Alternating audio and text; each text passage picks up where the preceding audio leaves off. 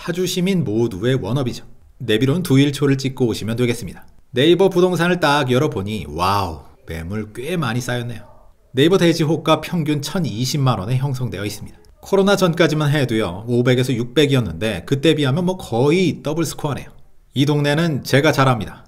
요 바로 앞에서 부동산을 했으니까요. 늘 왔다 갔다 하면서 참 동네 좋다 군침만 뚝뚝 흘렸었죠. 마을 입지가 한마디로 계란 후라이 같다고나 할까요? 주변이 둥그렇게 녹지로 포위된 데다 그 너머에 아파트 단지와 중형 상권이 보기 좋게 놓여있죠. 또 당연한 듯 초중고 도서관까지 자석처럼 옆에 그냥 딱 달라붙어 있고요. 그래서 작년에 제가 이 동네를 전원마을 모범 입지라며 출판기념 현장 답사지로 선정하기도 했던 거죠. 하지만 역시 문제는 가격. 이미 파주는 넘었고요. 일산 택지지구까지 넘보는 수준입니다. 다른 데는 일부 빠진 곳도 있는데 여긴 통 요지부동이네요. 자 그렇다고 예정된 GTX가 들어왔느냐? 또 예정된 종합병원이 들어왔느냐? 또 아무것도 실현된 게 없이 그저 나 홀로 가격만 열심히 내달리고 있네요. 제가 보기엔 여기보다 더 입지가 좋은 다른 곳이 생겨야 비로소 거품이 조금 빠지지 않을까 싶은데요. 예를 들면 현재 진행 중인 운정 3지구 정도 그때까지는 지금까지 계속 매물이 쌓이고 쌓여도 할 말도 해줄 말도 딱히 없습니다. 다른 말로는 송산 그린시티. 워낙 부지가 커서요. 딱 가운데 세솔동 행정복지센터 찍고 오시면 그 전부터 슬슬 보이기 시작합니다. 네이버 부동산 볼까요? 한때는 없어서 복구한다던 매물들 요즘엔 제법 떠 있네요. 집도 땅도 많이 보입니다. 위치에 따라 조금 차이가 있긴 하지만 평균 대지 호가 700에 맞춰지고 있네요. 옛날에 저한테 댓글로 1천 넘었는데도 물건 구하기가 힘들다. 그때 비하면 조금 빠지긴 빠졌습니다. 저는 이 동네를 완벽한 레저형 마을이라고 정의했습니다. 주변에 대형 공원도 참 잘 해놨고요. 바다나 섬도 무척 가까운 데다 무엇보다 향후 계획된 송산 그린시티 내 국제 테마파크까지 진짜로 놀고 먹기 위한 단독마을은 여기가 제대로다 싶었습니다. 하지만 아쉬운 점도 물론 있겠죠. 먼저 아래쪽으로 해망산이 깔린 공식적인 북향 땅 맞고요. 그럼 대신 위로 바닷물 구경 좀 하자 했더니 또 아파트한테 다 가로막혔습니다. 한마디로 들어앉은 꼴이 그닥 좋지 않죠. 또 인프라가 좋은 곳은 그나마 마을 형상을 조금 보이는 데 비해 그렇지 못한 쪽은 거의 황무지. 특히 가장 위쪽에 여긴 뭐 차라리 섬이네요 섬. 그럼에도 이것들은 다 약과다. 최고의 불안 요인은 역시 송산 그린시티 계획 자체의 원대함이겠죠. 워낙에 프로젝트가 시 차원을 넘어서는 대형이라 조금만 삐걱여도 2, 3년 delay는 그냥 깔고 간다고 보시면 됩니다. 근데 뭐 실거주 입장에서는 굳이 따질 필요까지는 없고요. 이 동네는 솔직히 조금 망설였습니다. 최근 가격이 슬슬 안정세를 보이는 분위기라 여기 항목에 넣을까 말까 해서요. 그래도 아직은 아직은 조금 더 빠지는 편이 어떨까 싶은 마음에 집어넣었습니다. 요즘 재건축 기사로 또 슬슬 군불대는 지역인데 지금 보실 단독 전원 마을은 그 너머 봉제산 남쪽이죠. 여기도 네이버로는 토지 매물부터 봐야죠. 아, 상당히 많이 내놨네요. 거래가 어떻게 될지는 모르겠지만 평당 호가 900에 형성되어 있네요. 2년 전 답사 때만 해도 600 무렵이었으니까 아, 진짜 많이 올랐다. 장점은 송도 신도시 바로 앞이라는 점. 다리 하나만 건너면 바로죠. 송도에선 골프장 안에 들어가 있어 어디 있는지 통 알 수가 없다는 단독 필지가 이쪽으로 건너왔다고 보시면 됩니다. 추가로 GTX, KTX 같은 철도 호재도 있어 더욱 주목받고 있기도 하고요. 하지만 여긴 단독 필지죠. 투자로 사고 파는 지역이 절대 아닙니다. 정확히 거주 여건 딱 하나의 잣대만 들고 봐야 하는데 그런 면에서는 솔직히 많이 부족하죠. 가장 먼저 마을 앞에 저 광활한 물류센터 내지는 재활용센터 지게차 소리, 집게차 소리가 역동적인 생명력을 느끼게 하지만 아무래도 내 집 앞에서는 조금 그렇죠. 또 대체 언제 나갈런지도 감감무소식이고 그렇다고 편의점이 하나 있나 이렇다 할 산책로가 있나 전원 마을로서 정비가 제대로 되려면 최소 10년 어쩌면 그 이상이 걸릴지도 모르겠습니다. 코스트코 지나서 길 끝까지 계속 들어오면 만나는 동네죠. 내비로는 탑실 마을 대주 피올의 2단지 찍으시면 됩니다. 이 근처는 타운하우스 뿐이라서요. 매물이 그것밖에 없습니다. 그래도 살펴보자면 평당 대지가 660 정도 부르고 있네요. 또 요 아래 공세초 쪽으로 가도 마을이 조금 있죠. 평당 호가 460만원, 위쪽보다는 조금 쌉니다. 이 동네는 한때 용인의 마지막 금싸라기 땅이라 불렸었죠. 아래 동탄으로 넘어가는 관문인데다 코스트코도 있고 대기업 연구소들도 많고요. 또 길 끝에는 현재 한창 막힌 도로를 뚫고 있고 대형 타운하우스까지 속속 예정되어 있는 상태입니다. 그래서 그랬나요? 작년까지만 해도 가격이 어마무시했습니다. 저한테 가격 잘못 적었다고 지금은 평당 2천 넘었으니까 당장 수정하라고 메일도 왔었으니까요. 하지만 현재는 아까 보신 그대로죠. 제가 보기엔 이마저도 조금 살짝 그렇습니다. 왜? 너무 깊어. 정면에 나 홀로 아파트 빼고는 진짜 조용한 산골입니다. 아무것도 없어요. 심지어 초등학교마저도 1km 15분 거리죠. 아, 조용할수록 비싸다면 이해가 조금 갑니다만 설마 그럴 리가요. 만일 지금 계획된 대단지 타운하우스들만 잘 정착된다면 그때는 또 혹시 몰라. 서수지 IC 통과해서 음식 문화의 거리로 돌아 들어오면 그 양쪽 산기슭에 자리 잡은 동네죠. 네이버 부동산을 볼 때는 가운데 도로를 중심으로 양쪽을 다 봐야 합니다. 매물수는 평균 정도네요. 근데 필지가 커서 그런가 가격이 다들 좀 셌고요.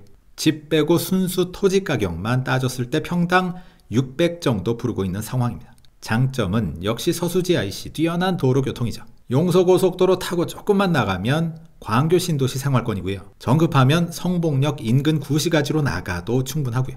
단점은 그걸 뺀 전부라고 해도 과언이 아닙니다. 전형적인 난개발 입지인데요. 누가 먼저인지 나중인지는 몰라도 유일한 진임으로 양쪽으로 대형 맛집들이 쫙 들어와서 동네 이름마저 그냥 신봉동 외식타운이라 불리게 되었습니다.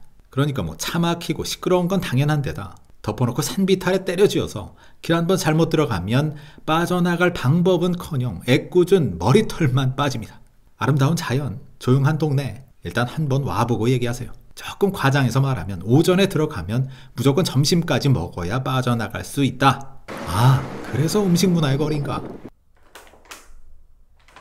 동탄 2지구인데요. 그 중에서도 가장 남쪽에 위치해 있습니다. 내비로는 서현초를 찍으시면 되고요. 네이버 부동산 열어볼까요? 이쪽도 단독 매물은 거의 없고요. 토지 매물을 보자니 wow 상당하네요. 빈 땅은 거의 다 던졌다고 봐도 될 정도입니다.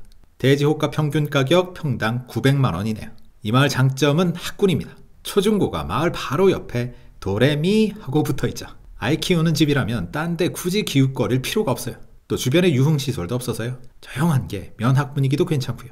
하지만 딱 그게 답니다. 교통이 편하냐? 쭉쭉 뻗은 신장로 사방 연결된 점이야 신도시 기본이니까 제쳐두더라도 교통과 인프라 중심인 경부선 동탄역까지는 차로 21분 무려 5.7km나 떨어져 있네요. 그나마 다행이라면 동탄 호수공원이 10분 2km밖에 걸리지 않는다는 점. 그 외엔 암만 다각도로 들여다봐도 칭찬할 만한 점이 죄송하지만 없습니다. 아니 오히려 높다란 아파트 플러스 좁은 이격거리 때문에 프라이버시 침해 우려가 있고요. 가끔 전투기 훈련 동선까지 겹치는 지역이니 아쉬운 점이 더 많다고 밖에 볼 수 없네요.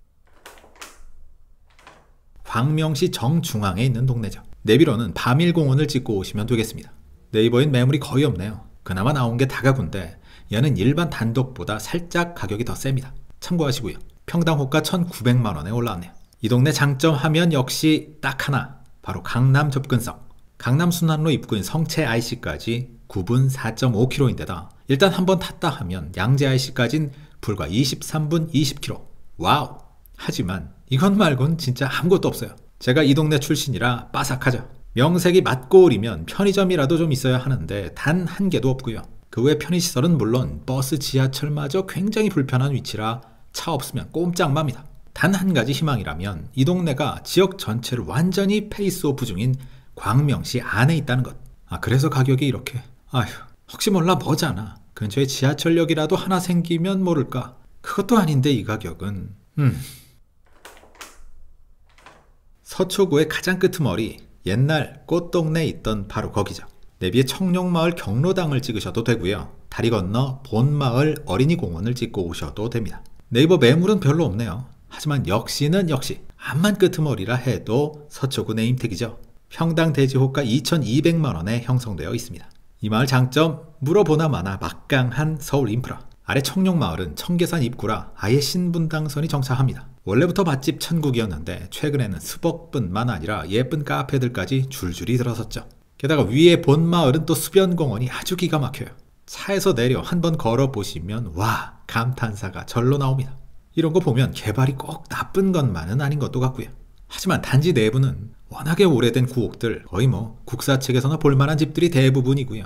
그나마 다닥다닥 아주 촘촘해 숨 쉴 틈조차 없습니다.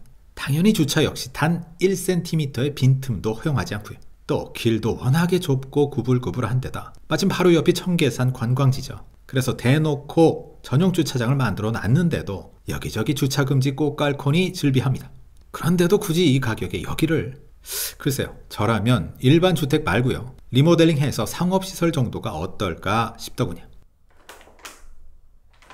위례지구 중에서도 마천역, 거여역 쪽 내비로는 위례솔 중학교를 찍으시면 됩니다. 여기는 아직 마을로서는 채 정리가 안 됐으니까 토지 매물 쪽을 살펴봐야겠죠. 와, 매물 꽤 많네요. 금액은 평당 대략 2,700만 원 정도로 내놓은 상태입니다. 이 동네 핵심 포인트는 역시 트램이죠. 얼마 전 착공했고요. 현재 열심히 진행 중이고 2025년까지 계획하고 있습니다.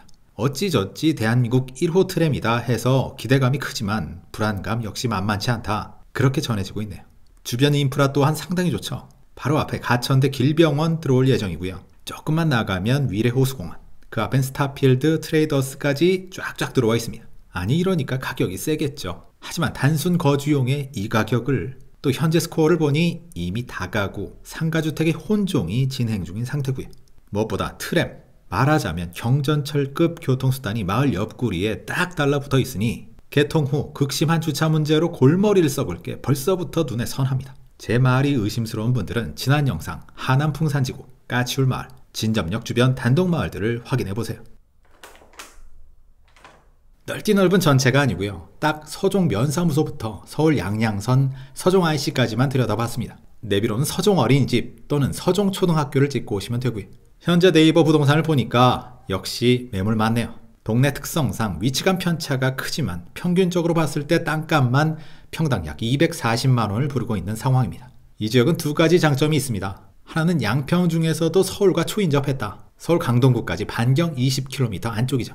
다른 하나는 인터체인지, 초중학교, 편의점, 맛집 같은 양평에서 보기 드문 준수한 생활 인프라를 갖췄다. 하지만 단점도 만만치 않죠. 일단 교통이 여전히 불편합니다. 수도권 제2순환로가 뚫렸다고는 하지만 그건 그거고요. 기본적으로 마을 내부 도로는 모두 편도일 차선. 가뜩이나 입구가 온통 맛집거리라 도어 투 도어 기준 어디 한번 나갔다 들어오려면 상당한 불편함을 여전히 감수해야 합니다. 게다가 전체적으로 서향, 거실에서 강볼래, 남향볼래 갈등하는 대표적인 지역이 바로 여기죠. 또 곳곳에 빈 집, 푹푹 파인 도로, 높은 경사면 등등등 전체적으로 마을이 위태롭다 싶을 정도로 정돈되지 못한 게 사실입니다. 그럼에도 양평 최고가다 여전히 물음표고요. 그래서 가장 마지막에 집어넣었습니다.